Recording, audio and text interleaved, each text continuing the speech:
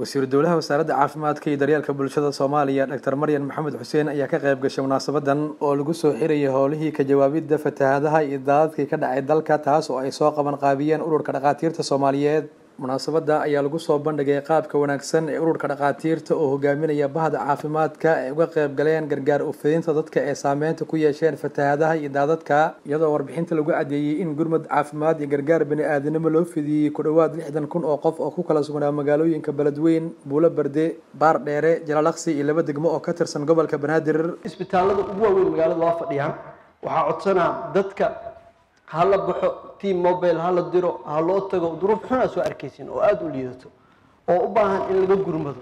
Juhdigii iyo dadaalkii iyo shaqadii socotay oo emergencyga ahaydna anaga emergencyga in la soo xiraya waa sheegaynaa laakiin mobile clinigaas sameynay aa u diyaar garownay waa wadaynaa. Mobile clinicna ururka dhakhaatiirta waxay ku wadi kartaa in daqli la helo.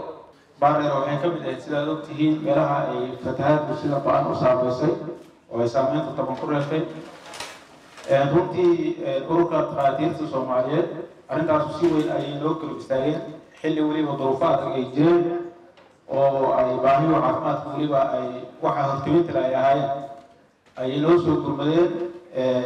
Dabcan annaguna si firfircoon ayaan oola shaqeynay waxaan jeclahay inaan marka hore aada iyo aada ugu hambaliyay u bogaadiyo ururka dhakhaatiirta shaqada weyn ay qabteen oo shaqo looga looga fadhiyey ah macnaha ay nuxurka iyo qiimaha dhakhtarka soomaaliyeed leeyahay ayay xambaarsan yihiin goobo hore oo aan istaagayna waa ka sheegay cahdiga auditory saluul wax badan oo positive ah isbedelay oo hagaagay oo qurux badnaaday gudoomiyaha ururka dhakhaatiirta soomaaliyeed doctor luul maxamuud maxamed ayaa sharaxday doorka weyn oo ay bahda caafimaadku ka qaateen gurmud ufidinta dadkii ay saameynta ku yeesheen daadadka iyo fatahaadaha. Wasiiradda waxaan le aaday u mahadsan tahay waqtigeeda ay maanta noo soo hurtay iyo inay nagala qayb qaadanayso xiritaanka emergencyga. Aadaan ugu mahad celinaa aadaan u bogaadinaa. Waxaan ognahay emergencygan waqtiga soo socday. Maantana waxaan rabnaa inaan gebagabadii dadkii nagala qayb qaatay aan u mahad celino ee nagala shaqaynayay intii uu socday kadibna mar walba soomaaliya si lagu soo celceliyo waa wax soo noqnoqon doona inay nala shaqeeyaan.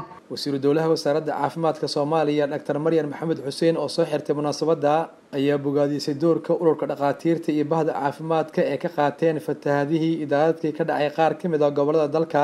Wasiiru dowlaha caafimaadka anoo ah haddana waxaan ahay xubinta qaran ee muxuu ahaa emergencyga oo hadda ilino ayaan ka mid ahaa waxaan sameynay luul markhaati ay ka tahay dhakhaatiirta. Shirar badan aan iskugu yeeray sidii loo bixi lahaa sidii loo gargaari lahaa sidii la gaari lahaa. Si muxuu ah gobolladii waxaan la wada hadalnay isteedyadoo dhan inay u diyaargaroobaan wixii ay hayaan inay geeyaan.